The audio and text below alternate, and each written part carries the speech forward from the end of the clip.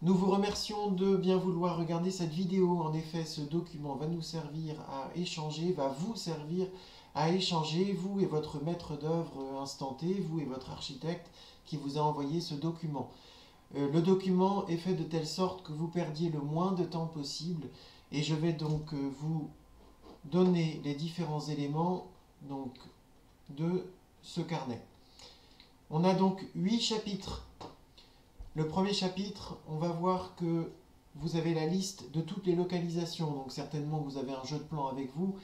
Dans ce premier chapitre, vous avez simplement la liste des localisations, celles qui sont en étude et celles qui ne le sont pas. Ensuite, vous avez deux chapitres qui concernent les vigilances techniques et les vigilances architecturales. C'est-à-dire que ce sont des notions que nous n'avons pas encore réussi à décrire de façon très précise, par contre, ce sont des résultats auxquels on veut arriver absolument. Ça veut dire que ce sont des éléments sur lesquels vous allez devoir échanger avec votre architecte ou votre maître d'œuvre instanté. Tout est rédigé par localisation et par sujet dans chacune des localisations. Ensuite, vous avez un descriptif par localisation. Il y a les quantités, mais il n'y a pas les prix. Nous vous invitons simplement à prendre les plans à côté de vous et à lire l'ensemble des descriptions par localisation sans vous inquiéter des prix, simplement pour vous faire une idée de ce qui est attendu par le client et l'architecte ou le maître d'œuvre instanté. Ensuite, vous avez trois chapitres, les 5, 6 et 7, qui sont euh, avec les quantités et les prix unitaires. Et cette fois-ci, c'est trié par l'eau technique avec les prix unitaires. Alors, à quoi correspondent ces trois chapitres? Le premier chapitre, le numéro 5, donc, équipement et matériaux de finition, ce sont tous les éléments qui ont été sélectionnés par les clients, par l'architecte, et qui devront être achetés dans tel ou tel, chez tel ou tel fournisseur. Donc ce sont tous les éléments du chantier qui sont soumis à validation de votre client ou de votre architecte euh, qui sont répertoriés dans ce chapitre.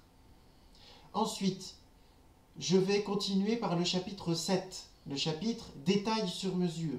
Ce sont tous les éléments spécifiques à ce chantier qui doivent être dessinés sur mesure. Ça veut dire que vous devez absolument en discuter avec votre maître d'œuvre ou votre architecte pour vous mettre d'accord sur la façon avec laquelle vous allez réaliser ces éléments-là et évidemment sur leur coût. Ensuite, les interventions forfaitaires. Ce sont des interventions que nous retrouvons sur tous les différents chantiers. Inutile de rediscuter avec vous, si c'est la troisième fois qu'on travaille ensemble, inutile de rediscuter avec vous sur le prix d'une prise électrique, sur le prix, enfin en tout cas de la ligne, de l'alimentation. Euh, inutile de discuter avec vous des difficultés de peinture, euh, euh, des surfaces de revêtement muraux, de revêtement de sol. A priori, on a déjà ces prix-là. Ça ne vous dispense pas de les regarder, bien sûr, parce qu'il faut que les prix que nous avons mis, nous, en tant qu'architecte ou maître d'œuvre, vous correspondent à vous, entreprise. Donc vous pouvez tout à fait avoir un regard là-dessus et nous dire c'est pas assez cher, c'est trop cher, mais il va falloir l'argumenter. Donc là, on vient de parler des chapitres 5, 6 et 7 qui sont chapitrés par euh, l'eau technique avec les prix unitaires. Ensuite, nous avons, pour terminer, euh, les tranches travaux, c'est-à-dire que, en tant que maître d'œuvre ou architecte, nous avons découpé notre chantier par phase principale. Alors très simplement, on part sur trois phases. La phase de démolition, la phase de seconde œuvre, enfin entre les deux en général il y a la phase de gros œuvre, donc ça va faire quatre euh, tranches travaux, donc je reprends. La tranche travaux démolition, la tranche travaux gros œuvre, la tranche travaux seconde œuvre et la tranche travaux finition, ce qui va vous permettre de vous mettre dans l'idée tout ce qui doit être fait par tranche, et là encore une fois, vous pouvez y jeter un œil et discuter avec le maître d'œuvre ou l'architecte pour pouvoir lui dire écoute, moi je préfère qu'on fasse ça avant ça et que ça se soit fait après ça. Donc le document que vous avez entre les mains n'est en aucun cas quelque chose qui est imposé par votre architecte, sachez que ça a été très réfléchi, que cela vient aussi de la réflexion avec le client. Donc, regardez-le, vérifiez les prix unitaires et ensuite, par la suite, pendant le rendez-vous, votre architecte ou votre maître d'œuvre pourra vous indiquer les prix au global par l'eau technique. Si vous avez des questions, rejoignez votre maître d'œuvre, votre architecte, pour bien comprendre comment fonctionne cet élément-là. Normalement, ce, carnet-là, normalement, l'architecte a dû vous envoyer ce document et vous dire qu'il allait faire un rendez-vous avec vous pour l'étudier avec vous. Merci beaucoup d'avoir suivi cette vidéo. Euh, je vais, pour ceux qui ont envie, je vais aller un tout petit peu plus loin en vous montrant des exemples sur chacun de ces chapitres. Mais en tout cas, merci à vous qui avez déjà suivi cette toute petite première partie de vidéo, parce que ça veut dire que vous êtes dans une bonne dynamique avec votre maître d'œuvre ou avec votre architecte. Alors, je continue sur euh, l'autre document qui est euh, la suite et qui est donc l'exemple. Donc là, on a intervention globale, ce sont toutes les interventions qui ne sont pas localisables. Et ensuite, en majuscule, vous avez les sujets. Alors, je vais vous montrer. Donc là, on a les vigilances techniques. Puis, voilà comment ça se présente. Hein. Puis, vous avez les vigilances architecturales. Et ensuite, la description des topics retenus. Je vais essayer de vous trouver rapidement une salle de bain pour vous montrer à quoi ça correspond concrètement? Alors, N0, chambre 1, vous voyez que c'est trié par ordre alphabétique, cuisine, dégagement, entrée, escalier, local technique, poule, salle à manger, salle de bain. Vous voyez que c'est trié par ordre alphabétique. Donc ça veut dire que vous pouvez retrouver facilement les éléments.